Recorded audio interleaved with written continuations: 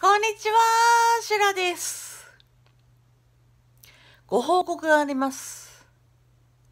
前々からですね、あのーお話ししていました、障害者年金、取りました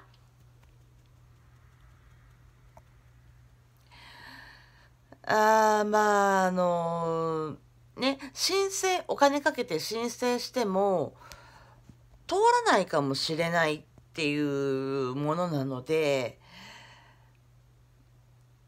ま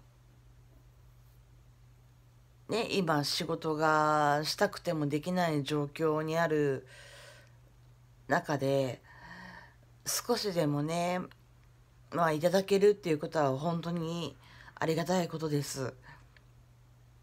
うん。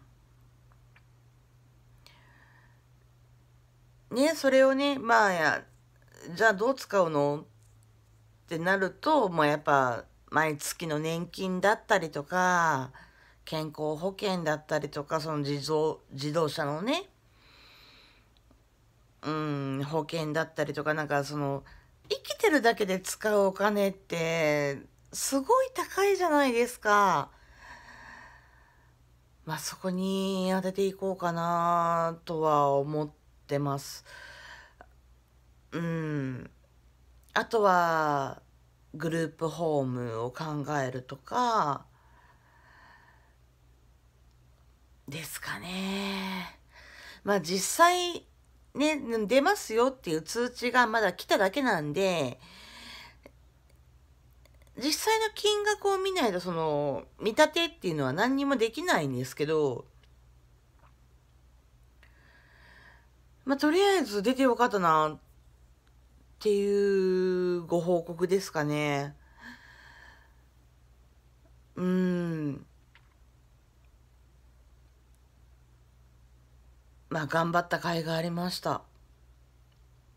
日々たかった、日々戦って、書類作って自分の力で一からね。うーん。なんか報われたっていう気になりましたね。なんか、これで家族にも負担をかけなくて、ね、少しは良くなるのかなとか。うん。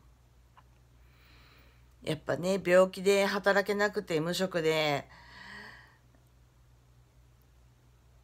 この年になって親に、ね、おんぶで抱っこでっていうのはやっぱ辛いので、まあ少しでも、あ、私は働けないから支援しますっていうその分があるっていうのは本当にありがたいですね。うん。